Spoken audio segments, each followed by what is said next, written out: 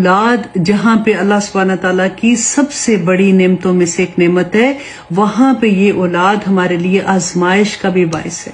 मैं तमाम माओ से ये दरख्वास्त करूँगी कि ये दुआ को रट ले। देखिए, हम इंसान है ना, हम कोशिश करते हैं कि अपनी औलाद की बेहतरीन परवरिश करें। कोई माँ बाप ये नहीं चाहता कि उसकी औलाद इस तरह की आजमाइश उनके लिए बने।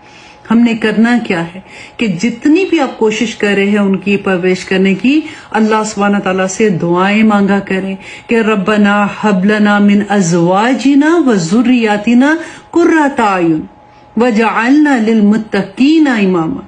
ए अल्लाह, मेरे खामंद और मेरी औलाद को मेरी आँखों की ठंडक बना दे और हमें सबको मुत्तकियों का इमाम बना दे।